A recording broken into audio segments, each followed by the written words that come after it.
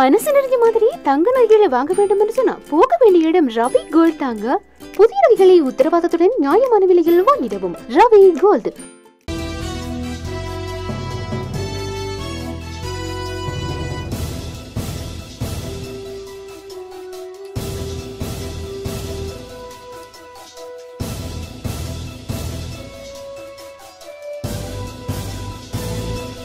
கனடாவில் கோர விபத்து. இலங்கை தமிழர்கள் இருவர் பலி தமிழகத்துக்குள் இலங்கையை சேர்ந்தவர்கள் ஊடுருவியுள்ளதாக ரகசிய தகவல்.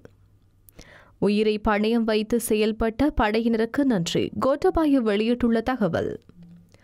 கோட்டபாயவின் பக்கம் தாவும் முயற்சியில் எதிர்க்கட்சி உறுப்பினர்கள். கட்டுநாயக்க விமான நிலையத்தை திறக்க இன்னும் இரண்டு ஆண்டுகள் செல்லும். கிழக்கு கடற்கரையில் பாதிப்பை ஏற்படுத்திய எண்ணெய் படிவு முற்றாக முடங்கியது கடற்றொழில். கடுமையான மன அழுத்தத்தில் கீதா குமாரசிங்க ஜனாதிபதியை சந்திக்க முடிவு. ஸ்ரீலங்காவுடன் எம்சிசி உடன்படிக்கையை மேற்கொள்வதா? அமெரிக்காவில் கூடுகின்றது உயர்மட்ட கூட்டம். அமெரிக்காவுக்கான தூதுவராக ரவிநாத ஆரியசிங்க நியமனம். ஸ்ரீலங்கா அனைத்தையும் வெற்றி கொள்ளும் விமல் நம்பிக்கை.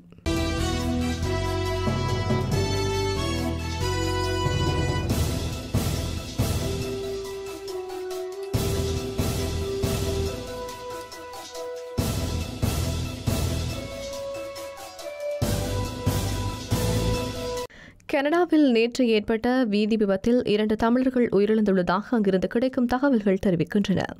ஒன்டாரியாவின் ப்ளூ மவுண்டன்ஸ் நகரில் நேற்றிரவு இந்த விபத்து ஏற்பட்டுள்ளது.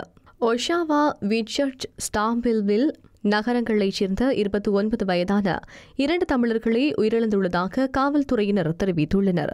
உயிரிழந்தவர்களில் ஒருவர் கஜன் தனபாலசிங்கம் என உறவினர்களால் உறுதிப்படுத்தப்பட்டுள்ளது. இவர் கடந்த இருபத்தி ஒன்பதாம் திகதி திருமணம் செய்து கொண்டவர் எனவும் தெரிய வருகின்றது. உயிரிழந்த இருவரும் பயணித்த கார் வீதியை விட்டு வெளியேறி ஒரு மரத்துடன் மோதியதாக காவல்துறையினர் தெரிவித்துள்ளனர். இதில் இருபத்தி நான்கு வயதைச் சேர்ந்த இளைஞன் மருத்துவமனைக்கு கொண்டு செல்லப்பட்டார். பின்னர் தீவிரமான நிலையில் அவர் விமானம் மூலம் டொரண்டோ பகுதி மருத்துவமனைக்கு கொண்டு செல்லப்பட்டுள்ளார். இந்த விபத்து நிகழ்ந்தபோது வாகனத்தில் மூன்று பேர் இருந்ததாக காவல்துறையின் அறிக்கையில் தெரிவிக்கப்பட்டுள்ளது. வாகனம் வீதியை விட்டு வெளியேற என்ன காரணம் என்பது குறித்த காவல்துறையினர் விசாரணைகளை மேற்கொண்டு வருகின்றனர்.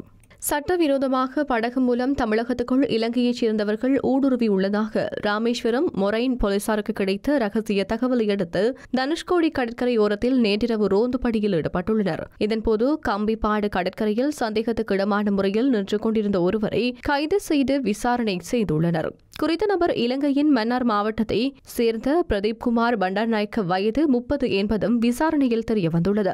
மேலும் கைது செய்யப்பட்டவர் சிங்கள மொழியில் பேசுவதால் இவர் குறித்து மத்திய உளவுத்துறை அதிகாரிகள் தீவிரமாக விசாரித்து வருகின்றனர் என அந்த நாட்டு ஊடகங்கள் தகவல் வெளியிட்டுள்ளன. எம் டி நியூ டயமண்ட் கப்பலில் தீப்பரவலை கட்டுப்பாட்டுக்குள் கொண்டுவர தங்கள் உயிரை பணயம் வைத்து செயல்பட்ட படையினருக்கு ஜனாதிபதி கோட்டாபய ராஜபக்ஷ நன்றி தெரிவித்துள்ளார். அம்பாறை சங்கமன்கண்டி இறங்குதுறையில் இருந்து நாற்பது கடல் மைல்களுக்கு அப்பால் உள்ள கடற்பிராந்தியத்தில் இரண்டு லட்சத்து எழுபதாயிரம் மெட்ரிக் டன் மசகு எண்ணெயுடன் இந்தியா நோக்கிச் சென்ற பனாமா நாட்டுக்கு சொந்தமான எம்டி நியூ டயமண்ட் என்ற கப்பலில் நேற்று முன்தினம் காலை தீப்பரவல் ஏற்பட்டது. எனினும் நேற்றைய தினம் தீப்பரவல் கட்டுப்பாட்டுக்குள் கொண்டுவரப்பட்டதாக கடற்படையினர் அறிவித்தனர். இது தொடர்பில் தனது டுவிட்டர் தளத்தில் தகவல் வெளியிட்டுள்ள ஜனாதிபதி எம்டி நியூ டயமண்ட் கப்பலில் தீப்பரவலை கட்டுப்பாட்டுக்குள் கொண்டுவர தாங்கள் உயிரை பணியம் வைத்து செயல்பட இலங்கை கடற்படை இலங்கை விமானப்படை இலங்கை துறைமுக ஆணையகம் மற்றும் இந்திய பாதுகாப்பு படை ஆகியவற்றுக்கு தமது மனமார்ந்த நன்றிகளை தெரிவித்துக் கொள்வதாக குறிப்பிட்டுள்ளார்.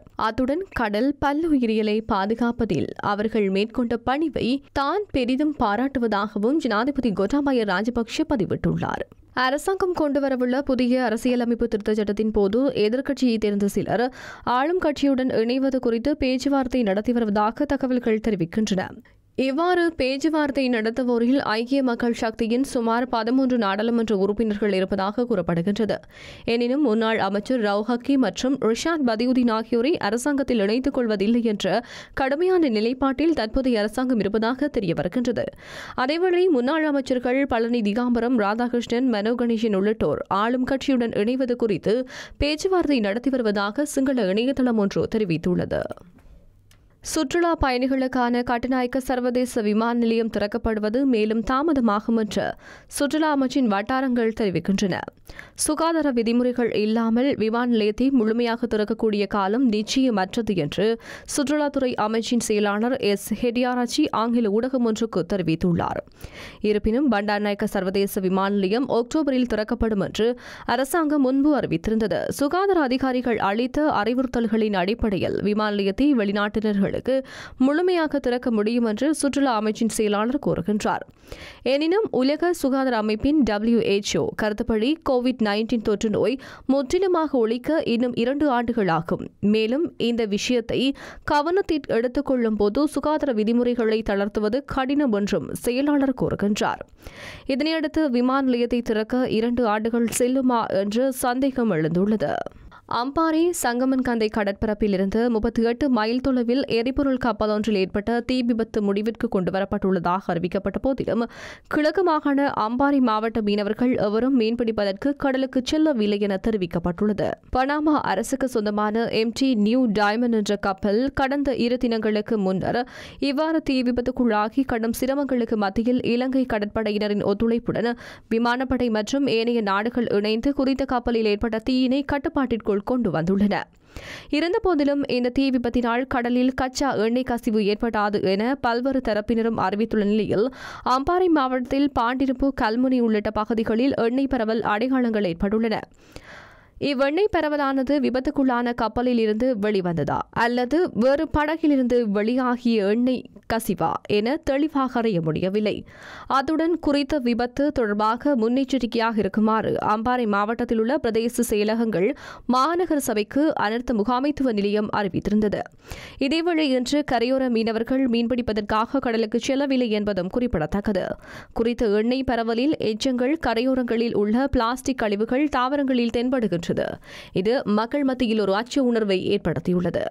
தன்னை நாடாளுமன்றத்துக்கு அனுப்பிய மக்கள் எதிர்பார்ப்புகளை நிறைவேற்ற தமக்கு இதுவரை முடியவில்லை என பொதுஜன பெரமுன காலி மாவட்ட நாடாளுமன்ற உறுப்பினர் கீதா குமாரசிங்க தெரிவித்துள்ளார். இதன் காரணமாக தான் கடுமையான மன அழுத்தத்தில் உள்ளதாகவும் அடுத்த சில நாட்களில் ஜனாதிபதியை சந்தித்து இது தொடர்பாக கலந்துரையாட உள்ளதாகவும் குறிப்பிட்டுள்ளார். தான் அரசியலில் சுமார் பத்து ஆண்டுகளாக இருப்பதாகவும் தனக்கு வாக்களித்த மக்களின் தேவைகளை நிறைவேற்றுவது தனது கடமை எனவும் அவர் பேசியுள்ளார். இந்நாட்டில் இன்று அரசியலுக்குள் இருப்பது விளையாட்டுத்தனமாக இருக்கின்றது.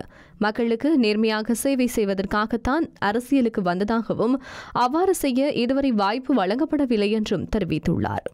அமெரிக்காவின் எம்சிசி உடன்படிக்கை தொடர்பாக இலங்கையில் ஏற்பட்டுள்ள கடும் எதிர்ப்பு காரணமாக அதனை தொடர்ந்து முன்னெடுப்பதா இல்லையா என்பதை தீர்மானிக்க எம்சிசி உடன்படிக்கை திட்டத்தின் பணிப்பாளர் சபை அடுத்த வாரம் வாஷிங்டனில் கூடவுள்ளது. அமெரிக்காவின் எம்சிசி திட்டத்தினூடாக தெரிவு செய்யப்பட்ட நாடுகளின் அபிவிருத்திக்காக நிதியுதவியை வழங்கி வருவதுடன் இலங்கைக்கு நானூற்று எண்பது மில்லியன் டாலர்களை பெற்றுக் கொடுப்பதற்காக இலங்கையிடம் அந்த உடன்படிக்கை சமர்ப்பிக்கப்பட்டிருந்தது. எனினும் அந்த உடன்படிக்கையில் காணப்படும் பல்வேறு விடயங்கள் மற்றும் நிறைவேற்ற வேண்டிய நிபந்தனைகள் சம்பந்தமாக சமூகத்தில் கடும் எதிர்ப்புகள் உருவாகின. பின்னர் இந்த உடன்படிக்கை தொடர்பாக ஆராயப்பட்ட நிபுணர் குழு உடன்படிக்கையின் சில நிபந்தனைகள் நாட்டின் பொது சட்டத்திற்கு மட்டுமல்லாது அரசியலமைப்பு சட்டத்துக்கு முரணானது என கூறியது. இதனையடுத்து உடன்படிக்கை தொடர்பான செயல்பாடுகள் செயலிழந்தன. அமெரிக்கா தெற்காசியாவில் இலங்கையை தவிர நேபாளத்துக்கு இவ்வாறு உடன்படிக்கை முன்வைத்துள்ளதுடன் அதற்கு இதுவரை நேபாள நாடாளுமன்ற அனுமதி வழங்கவில்லை என்பதும் குறிப்பிடத்தக்கது. அமெரிக்காவுக்கான இலங்கையின் புதிய தூதுவராக வெளிவிவகார அமைச்சின் முன்னாள் செயலாளர் ரவிநாத ஆரியசிங்க நியமிக்கப்பட்டுள்ளார். ஆரியசிங்கவே பிரான்ஸ் நாட்டுக்கான தூதுவராக நியமிக்க ஏற்கனவே தீர்மானிக்கப்பட்டிருந்தது. எனினும் அவர் தற்போது அமெரிக்காவுக்கான தூதுவராக நியமிக்கப்பட்டுள்ளார். அமெரிக்காவுக்கான இலங்கையின் தூதுவராக கடமையாற்றிய ட்ரொட்னி பெர்னாண்டோ இலங்கைக்கு அழைக்கப்பட்டுள்ளார். இதேவேளை நீண்ட காலமாக வெற்றிடமாக இருந்து வரும் பிரான்ஸ் நாட்டுக்கான இலங்கை தூதுவராக பேராசிரியர் ஷனிகா ஹிரிம்பு ரேகம நியமிக்கப்பட்டுள்ளார். கொழும்பு பல்கலைக்கழகத்தின் முன்னாள் புவேந்திரா உபவேந்திரா அவர் பல்கலைக்கழக மானியங்கள் ஆணைக்குழுவின் தலைவராகவும் கடமையாற்றியுள்ளார். அத்துடன் இந்தியாவுக்கான இலங்கை உயர்ஸ்தானிகர் பதவிக்கு ஏற்கனவே முன்னாள் அமைச்சர் மிலிந்த மொரகுடவின் பெயர் பரிந்துரைக்கப்பட்டது. இதனைத் தவிர இத்தாலி தென்கொரியா சீசெல்ஸ் ஈரான் ஆஸ்திரேலியா ஆகிய நாடுகளுக்கான தூதுவர் பதவிகள் வெற்றிடமாக இருந்து வருகின்றன. அந்த பதவிகளுக்கு தகுதியானவர்கள் விரைவில் நியமிக்கப்பட உள்ளதாக வெளிவிவகார அமைச்சின் செயலாளர் அட்மிரல் ஜெயந்த கொலம்பகே தெரிவித்துள்ளார். எதிர்காலத்தில் இறக்குமதிகளால் நிறைந்த நாடு என்பதற்கு அப்பால் ஏற்றுமதி பொருளாதாரத்தை வெற்றி கொண்ட நாடாக இலங்கையை மாற்றியமைக்க வேண்டும். அதற்கு தேவையான தொழில்நுட்ப வசதிகளையும் மனித வளத்தையும் விருத்தி செய்வது உட்பட ஏனைய காரணிகள் குறித்து அரசு கவனம் செலுத்த உள்ளது என்று கைத்தொழில்துறை அமைச்சர் விமல் வீரவன்ச தெரிவித்துள்ளார். கைத்தொழில் அமைச்சில் நேற்று நடைபெற்ற நிகழ்வொன்றில் உரையாற்றும் போதே அவர் இவ்வாறு கூறினார். இதன்போது தொடர்ந்து உரையாற்றிய அவர் கொரோனாவுக்கு முன்னர் தேசிய ஆடை உற்பத்தியாளர்களுடன் நடத்திய சந்திப்பின் போது அவர்களது பிரச்சினைகள் குறித்து ஆழமாக ஆராயப்பட்டதுடன் அவர்களின் ஆடைகளை ஏற்றுமதி செய்வதற்குள்ள தடைகள் குறித்தும் கவனம் செலுத்தப்பட்டது. இதற்காக சர்வதேச ரீதியான சாதாரண சந்தை வாய்ப்புகள் என்ற தொனிப்பொருளில் இவர்களுக்கு சர்வதேச சந்தை வாய்ப்புகள் மற்றும் ஏற்றுமதி தொடர்பான விழிப்புணர்வுகளை ஏற்படுத்த திட்டமிட்டிருந்தோம். மக்களுடைய அரசு என்ற அடிப்படையில் மக்களுக்கான பணிகளை செய்வது எமது பொறுப்பு. அதன் பிரகாரம் தேசிய ஆடை உற்பத்தியாளர்களுக்கு ஆடை ஏற்றுமதி தொடர்பில் விளக்கம் அளிப்பது அமைச்சின் பொறுப்பாகும். ஏற்றுமதி சபை மற்றும் துறைசார் அதிகாரிகளுடன் பேச்சு நடத்தி இந்த நடவடிக்கைகளை நாம் முன்னெடுத்து வருகின்றோம். தேசிய ஆடை உற்பத்தி தொடர்பில் எமது அரசு அதிகூடிய கவனத்தை செலுத்தியுள்ளது என்றார்.